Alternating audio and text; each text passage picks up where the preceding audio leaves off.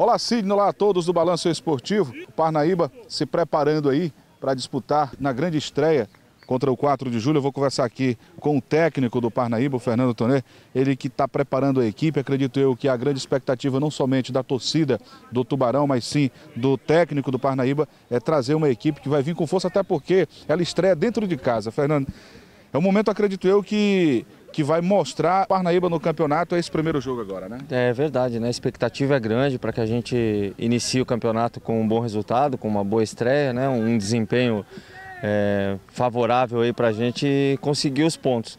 Essa expectativa até ficou maior devido à folga na primeira rodada, né? Que o comercial acabou desistindo. E a gente até por esse ponto, por esse motivo, ganhamos uma semana a mais de treinamento e eu consegui até corrigir algo que de repente não teria tempo hábil para isso, né? Inclusive foi a chegada de um centroavante e mais um zagueiro, que eu havia pedido desde o começo da pré-temporada. Já chegaram, estão à disposição. O torcedor pode esperar o Parnaíba com muita vontade, muita determinação, porque isso é um dos, dos pilares aqui, um dos fatores que a gente cobra dia a dia dos jogadores. Será um jogo muito difícil, mesmo porque o 4 de julho perdeu a primeira partida jogando em casa. Eles vêm aqui tentando de todas as maneiras buscar também um, um, resultado que seja favorável a eles, né? somar pontos pelo menos. E a gente vai fazer o possível, sim, com uma equipe bem competitiva para conseguir a vitória. Muito obrigado, Fernando.